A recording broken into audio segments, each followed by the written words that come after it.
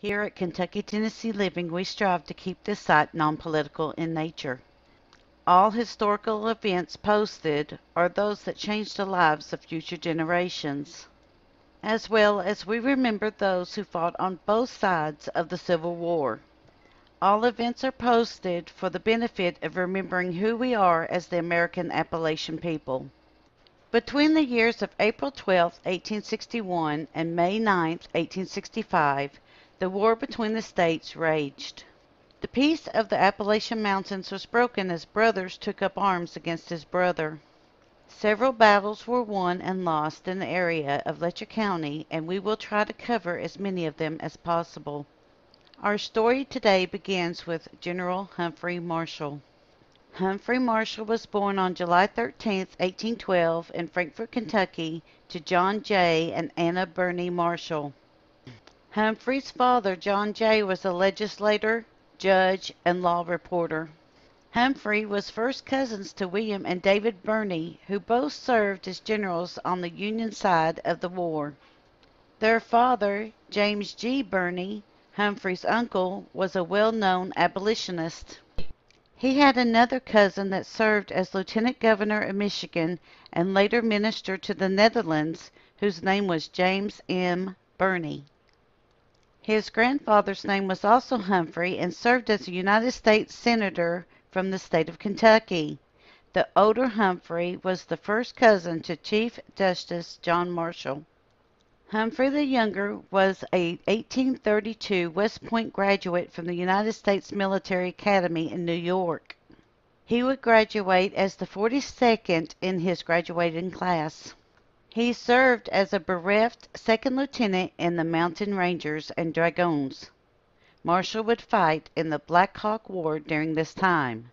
After this conflict in April 1833, Marshall resigned from the army to study law. Later that same year, the state of Kentucky admitted Marshall into the bar, and he practiced law in Frankfort, Kentucky. Two years later, in 1835, Marshall would move to Louisville, Kentucky. In 1836, Humphrey Marshall joined the militia and became a captain. During this time, Marshall and a company of volunteers marched to defend the state of Texas and the frontier against the Native Americans. His force disbanded, however, when General Sam Houston had a victory at San Jacinto. By 1838, Marshall was a major. In 1841, he became a lieutenant colonel. In 1846, Marshall became a colonel of the 1st Kentucky Cavalry during the Mexican American War. He fought in the Battle of Buena Vista with Zachary Taylor's Army of Occupation. Marshall returned home after the Mexican American War and became a farmer in Henry County, Kentucky.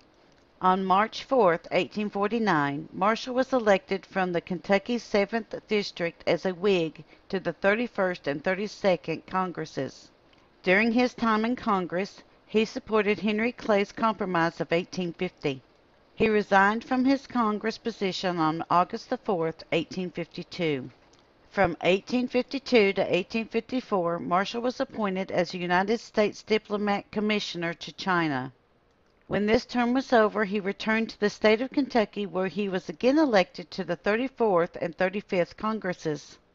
Even though he was renominated for a fifth term in office, he turned the offer down and refused to run. In 1856, he became a member of the American Political Party of New York City and he was instrumental in removing all secrecy in the political organization. Marshall was well known for being a moderate in his political views. He supported John C. Breckinridge for president in 1860. He also advocated and worked for the state of Kentucky to remain neutral. This effort failed when Union troops occupied the state of Kentucky. Marshall felt that this action was coercion. Enlisting with the rank of brigadier general, Marshall joined the Confederacy and aided in recruitment. He was stationed in West Virginia but saw very little combat. In January 1862, General Humphrey Marshall and his troops were stationed in Paintsville, Kentucky. There he would be confronted in battle by General and future President James A. Garfield.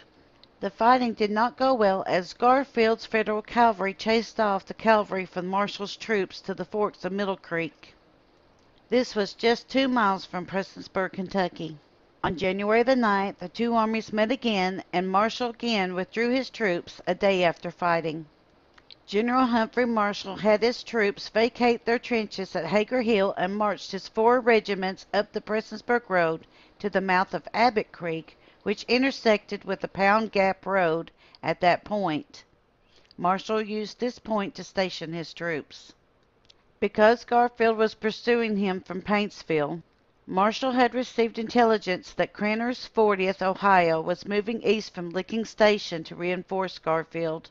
He was in a perfect position to intercept either of these forces before they had a chance to combine against him. This area also afforded Marshall a route out of the area if he won or lost the battle and had to do a hasty retreat. As it turned out, it was a retreat. He retreated his forces through modern day Goodloe and Pyramid over Brushy Mountain and toward Brush Creek to Hueysville. He then established a new camp at Joseph Gearhart's farm for a week. According to tradition, one unnamed Confederate soldier died and was buried at the Gearhart Cemetery. While other soldiers burned fence posts to keep warm, Marshall then moved his troops to John Martin's farm for rest and a warm welcome. Marshall was able to obtain a victory at the Princeton Courthouse battle. This would be a minor battle in the war and was fought on May 15th through the 17th, 1862, in Mercer County, Virginia. The battle would see a win for Marshall against Brigadier General John Dolson Cox, who was trying to threaten the East Tennessee and Virginia railroads. Even though Marshall had a victory in this battle, he became frustrated because he was not allowed to have a bigger assignment in the war. In June 1862, Marshall briefly handed over his resignation. In the fall of 1862, Marshall returned to battle and was part of the Braxton Briggs Kentucky operations. After a short time, in June 1863, Marshall then resigned his commission again and moved to Richmond, Virginia, where he practiced law. While in Richmond, Marshall was elected to Second Confederate Congress in November of 1863. He would represent the Kentucky's 8th District. When the Confederacy collapsed and the Second Confederate Congress was disbanded, Marshall briefly fled to Texas for safety. When the Civil War was finally over, Marshall moved to New Orleans, Louisiana.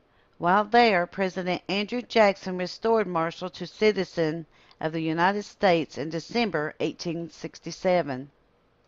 Marshall then returned to Louisville, Kentucky, and began to practice law again. There he would stay until his death on March 28, 1872. He would be buried at Frankfort Cemetery in Franklin County, Kentucky. Thank you for watching our video about General Humphrey Marshall. We thank you for continuing to support Kentucky Tennessee Living as we bring you the history of the Appalachian Mountains. Please like, subscribe, and share below. Also hit the bell for notifications of future videos.